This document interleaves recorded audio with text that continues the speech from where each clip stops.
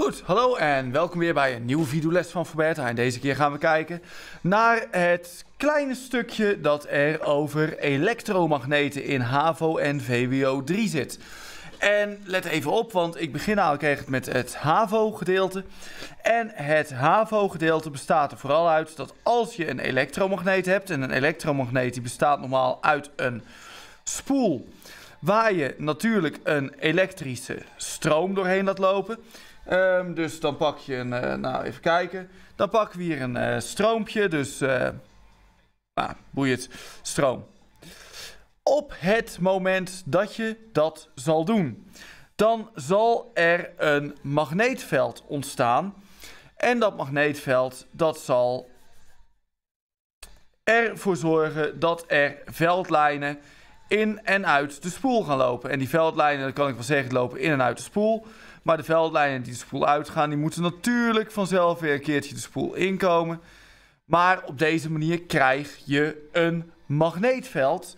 Waarbij je ook kunt zeggen, dan zal één spoel, of één kant van de spoel noord worden en de andere kant van de spoel, die wordt zuid. Nou, nu is zo'n spoel als dit niet zo heel erg ingewikkeld om te maken. Maar hij is afhankelijk van een aantal belangrijke dingen. Namelijk de sterkte van het magneetveld, dat hebben we uit proeven gehaald, heeft te maken met in ieder geval het aantal windingen. En dan kun je dus zeggen, hoe meer windingen, hoe sterker het geheel wordt. Dus meer is sterker. Tweede ding, sterkte van het magneetveld, behalve het aantal windingen, heeft het ook te maken met de grootte van de stroom. Um, de grootte van de stroom, of je kunt ook zeggen de grootte van de spanning die voor de stroom zorgt, um, is ook weer heel flauw. Meer is sterker. Ja, daar kunnen we heel erg diep op ingaan, maar dat gaan we niet doen. Aantal windingen maakt het sterker, grootte van de stroom maakt hem sterker. En dan hebben we nog een laatste ding. Namelijk, als je een spoel hebt, dan kun je er ook nog een ander trucje mee doen. Je kunt ook eerst een stuk ijzer pakken. En dat stuk ijzer daar dan ineens je spoel omheen gaan wikkelen. Zover me dat hier lukt om te tekenen. Huppakee. En klaar. Dus we hebben hier een stuk ijzer waar, spoel, waar de spoel omheen zit. En wat zal er nu gebeuren op het moment dat ik hier een stroom doorheen ga, lopen, ga laten lopen? Dan zal er natuurlijk een magneetveld ontstaan. Maar dat stuk ijzer dat hier binnenin zit, ja, hier binnenin lopen ook veldlijnen.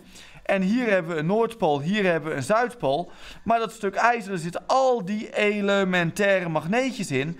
En die stonden eerst alle kanten op. Maar doordat ze nu in een magneetveld zitten, zullen al die elementaire magneetjes ook allemaal netjes meegericht worden met het magneetveld. En omdat ze allemaal netjes meegericht worden, zal door influentie um, kunnen we ook zeggen dat de kern die erin zit, zo heet dat, de kern, dus het stuk ijzer dat erin zit, heeft ook invloed. En dat stuk ijzer, je kunt zeggen, meer ijzer in de kern, dus meer ijzer, nikkel of kobalt in de kern, levert een sterker magneetveld op. Goed, dit was het HAVO-gedeelte. Um, dan uh, gaan we door naar het VWO-gedeelte. En het VWO-gedeelte is eigenlijk maar een heel klein vervolgje. Um, namelijk, als je dus zo een spoel hebt, en ik teken er even een kern eerst even in, want dat tekent lekkerder. Dus als je zo'n spoel hebt met natuurlijk een kern erin, dan kun je zeggen van, oh, goh, wat leuk, ik heb een spoel met een kern. Um, ik kan hier stroom doorheen laten gaan. Maar ik kan hier ook een magneet bij gaan houden. Noordpool, Zuidpool. En het leuke effect is... En dat is een heel belangrijke. Als je een magneet beweegt, en dit woordje is heel belangrijk. Als je een magneet beweegt in de buurt van de spoel,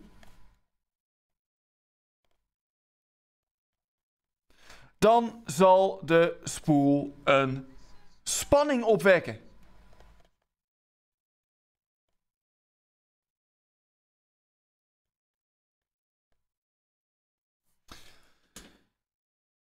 En dat betekent dus eigenlijk dat als een magneet beweegt in de buurt van de spoel, dan zal de spoel het tegenovergestelde gaan doen van wat hij eerst deed. Namelijk eerst was het als je een spanning op een spoel zet, dat is de oorspronkelijke, spanning op spoel levert magneetveld. Maar ja, die twee zijn dus blijkbaar enigszins, niet helemaal perfect, maar enigszins uitwisselbaar. En dat heeft heel leuke effecten, want op die manier kun je een luidspreker en een microfoon heel erg makkelijk en heel erg goed laten werken. Goed, dit was deel 4 van de samenvatting van paragraaf 3.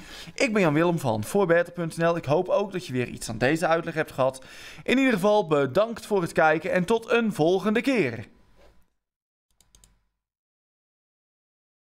Oh, en kijk natuurlijk ook eens op www.voorbeter.nl of op www.free-academy.nl voor alle informatie over alle bijlessen en alle andere coole dingen die je hier in Beeldhoven kunt doen. Als je niet op het OLZ zit, maar op een willekeurige andere school en denkt, oh, bijles is leuk, bijles is nuttig.